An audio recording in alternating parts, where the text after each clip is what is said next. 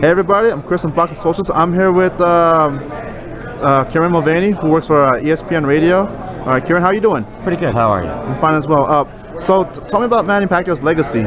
Oh, look, I think he's going to go down as easily one of the greatest southpaws of all time. Certainly the greatest Asian fighter so far of all time.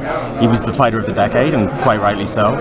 That period that he went through for several years, when he was just mowing down opponent after opponent, going through weight class after weight class, it was an incredible period. It was one of the most exciting periods in boxing. I think his legacy is pretty much secure as one of the greatest fighters of this era. Do you think he's a first ballot uh, future Hall of Famer? Oh, no question. Absolutely no question. Even though he, he couldn't get the, the, the Mayweather fight? Yeah, I mean, look, I think you look at Floyd and you look at Manny, and I think it's, it's the best fight of our era that never got made. It's disappointing that that never happened, um, and it won't ever happen. But in history, in future, people's disappointment level will diminish a little bit of that, and you'll look at the fights that they did fight, and, and it'll be very clear that you know both guys very much belong in the Hall of Fame. Okay.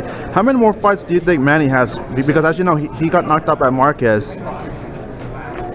Very curious to see. I mean, he's probably going to fight Brandon Rios in November, and we'll see. You know, Rios is a guy who's going to be in front of him, so in many respects that might work for Manny, right? It might be a guy that he can knock out. Is he damaged now after that knockout? If Rios hits him, is he going to go?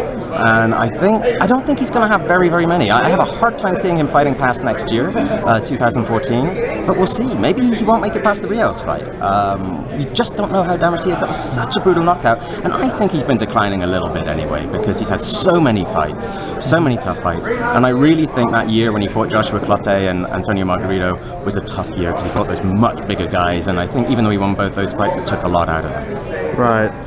All right, then. So, uh, so in your opinion, you want to see him fight Rios, not Alvarado, right? I think it's going to be Rios, is my understanding, in November in Macau. All right, then. Uh, how many fights do you think Floyd has after Robert Guerrero? In your You opinion? know, again, we'll see how he does against Guerrero. Obviously, his, his contract calls for him to have up to five more. I don't think he'll have that many.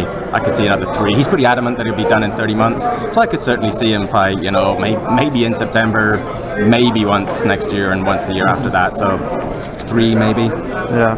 What about uh, Sergio Martinez? Sergio looks like a guy who's getting near the uh, getting near the end. Um, I mean, he's an incredibly fit 38 years old. But he's still 38 years old. He's had one knee surgery. He's about to have another knee surgery. He's broken his hand in both his last two fights. He's got that kind of style that's that's very demanding on, on a physique.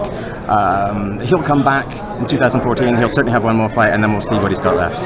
All right. All right, then, Kieran. Thank you so much for your time consideration. Really appreciate bet. it. You bet. Thanks very much.